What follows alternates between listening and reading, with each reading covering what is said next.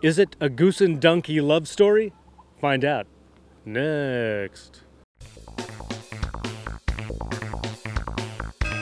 CapeCast. From the people who brought you Dog and Pig Love Story. A new chapter. It's Goose and Donkey Love.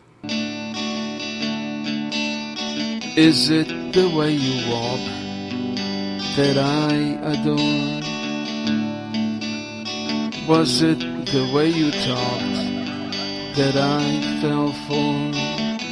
Whatever it was, I don't know. All I know is that I love you so.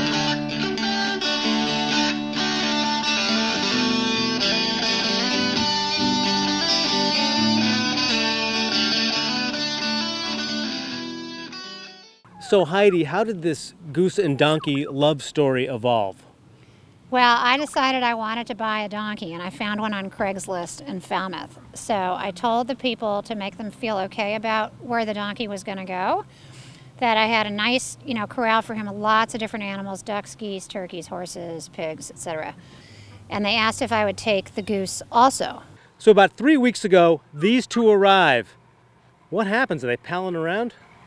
Yeah, yeah, they were just inseparable.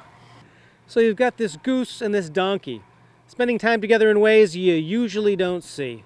Maybe because they're the new kids in the barnyard. But it does look like some kind of love. How would you characterize it?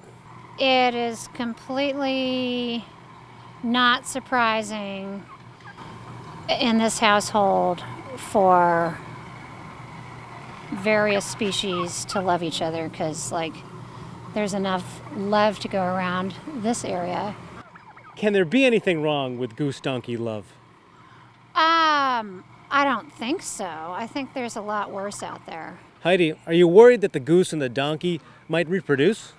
And make a goon key? Or a donkoose?